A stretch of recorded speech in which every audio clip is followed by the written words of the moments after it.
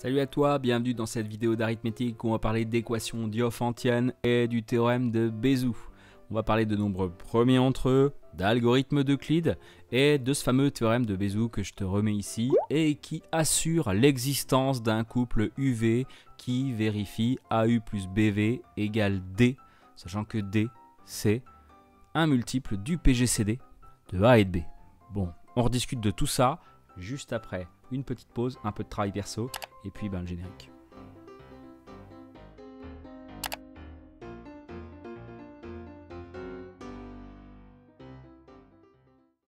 Donc on part sur une première question, montrer que 88 et 63 sont premiers entre eux, c'est-à-dire que leur PGCD vaut 1. On utilise bien sûr l'algorithme d'Euclide, je te renvoie à l'exercice qui s'y rapporte, voir en haut à droite de ton écran.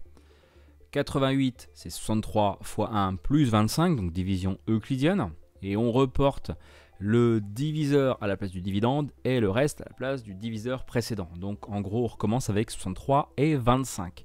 63, c'est 25 fois 2 plus 13. Et on recommence. 25, c'est 13 fois 1 plus 12. Et on recommence un certain nombre de fois. 13, euh, c'est 12 fois 1 plus 1 et 12, c'est 1 fois 1 fois 12 plus 0. On arrive à 0. Le PGCD, c'est le dernier reste non nul obtenu dans l'algorithme des divisions euclidiennes successives. Donc ici, on vient de montrer que le plus grand diviseur commun à 88 et 63, c'est 1. Donc 88 et 63 sont premiers entre eux ou étrangers, on dit également. Déterminer. Ensuite, un couple d'entiers relatifs UV qui vérifie 88U plus 63V égale 1. Un couple, il y en a plusieurs.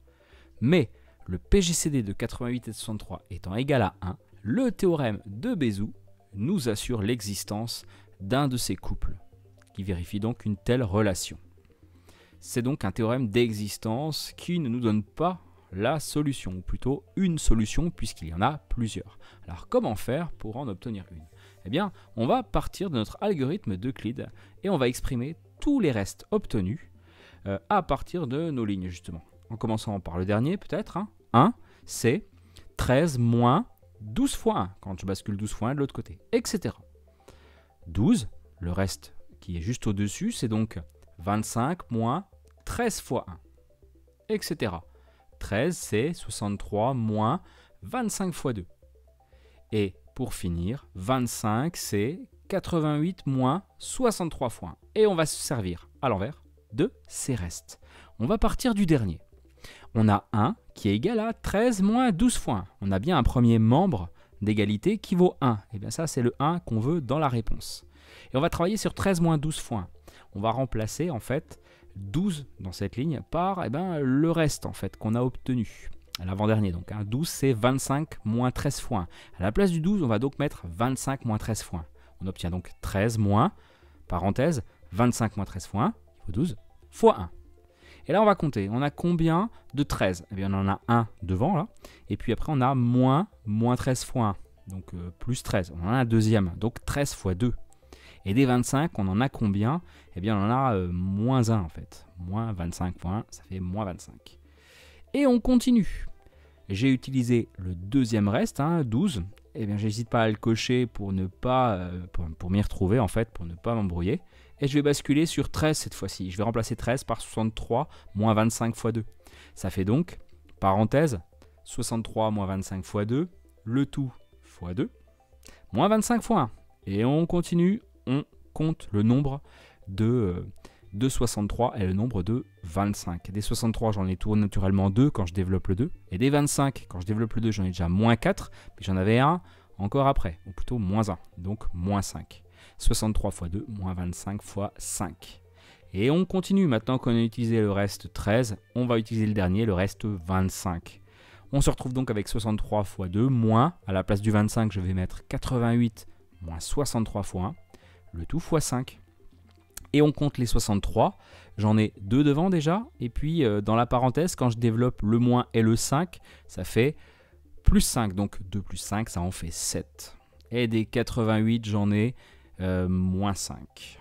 J'obtiens donc, en remettant les choses dans l'ordre, on me demandait 88U plus 63V, et bien les 88 j'en ai moins 5, et des 63, j'en ai 7. J'ai donc un couple UV qui vaut moins 5, 7, qui répond parfaitement à ma consigne. À la question posée en tout cas. Un couple parmi, parmi tant d'autres.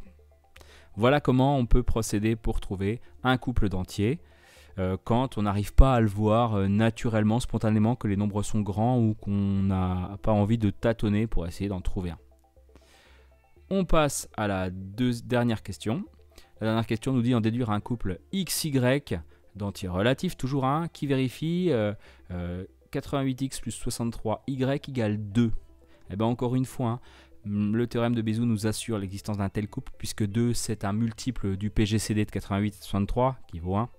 Donc en fait, on va tout simplement bah, réécrire ce qu'on a trouvé précédemment, 88 fois moins 5, donc plus 63 fois 7 égale 1, et on va tout multiplier par 2. On obtient donc 88 bah, fois moins 5 fois 2, ça fait moins 10, plus 63 fois 7 fois 2, ça fait 14, égale 1 bah, fois 2 égale 2. Donc parfait.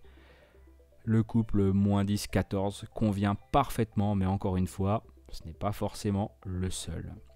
Voilà comment utiliser donc le théorème de Bézout pour trouver une solution particulière, c'est comme ça qu'on appelle ça, une solution particulière d'une équation diophantienne, c'est-à-dire du type ax plus by égale c du premier degré donc.